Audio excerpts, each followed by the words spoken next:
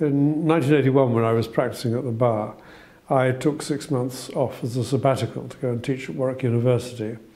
My clerk said, you'll never work again, sir, they'll forget who you are. But in fact, my practice survived. And while I was there, I started drafting a scheme for what we then I then envisaged as a law centre's law centre, a referral point for existing law centres, of which there were a good many in those days, uh, 50 odd. What the Public Law Project has done in those years is not what I'd first envisaged. It's not been a referral point for other law centres. It's been a leader and an initiator of research and, uh, and of litigation. And that's been exactly what was needed. So I have no worries on that score at all. It's achieved far more than I think any of us visualised at the start. And uh, what it's doing and has done, I think, is absolutely admirable and indeed unmatched by anything that anybody else has done in this country. Over the last couple of years, PLP has done extremely important work in investigating the effects of the cuts in legal aid and the difficulty for people getting exceptional cases funding. Uh, they have uh, helped individuals in terrible circumstances, in family law cases, to get exceptional funding, and they've exposed the uh, problems in the system where uh, the reality is that in the most extreme cases, people have been denied the help that they need. Uh, PLP is a unique organisation.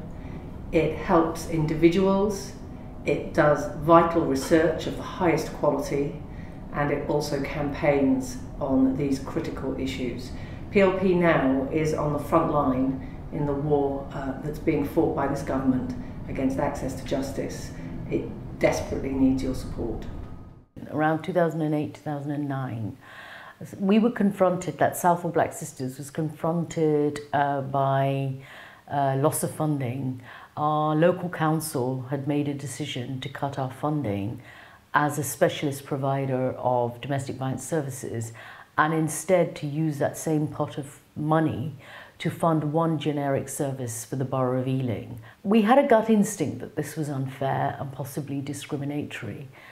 And so I decided to seek advice from the Public Law Project because I was aware that that's why the Public Law Project is, existed, to provide good quality advice to organisations like ours. The final outcome was um, a hearing at the High Court where Ealing Council's decision uh, was um, questioned um, on the basis that it was unfair, it was discriminatory, it, was dis it hadn't carried out a proper equality impact assessment and hadn't really taken into account the, the views of the users of our centre.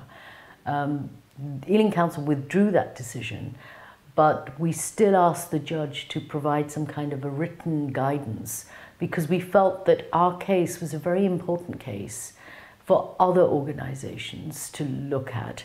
And I thought I would concentrate on something that I think they have done brilliantly, which is their project on exceptional funding. When the government um, passed the Legal Aid Sentencing and Punishment of Offenders Act, LASPO, the Act ensured that lots of people would no longer get legal aid. That would be advice, it would be representation, and lots of areas of law were therefore taken away and hundreds of thousands of people would not get legal aid who before the 1st of April 2013 did get legal aid. So what the Public Law Project did was set out a brilliant website explaining everything you need to know about the um, exceptional case funding application. And then they did more they started off by sending off some applications on behalf of clients and they advised firms of solicitors, not-for-profit organisations like law centres, they advised people how to uh, make an application and they realised how few were being granted. And subsequently, we all found out how few were being granted. And I've just checked the figures, and in the first year, 1,520 applications were made and 69 were granted. That's a very, very low um, success rate for something where the government said five to 7,000 applications would be made.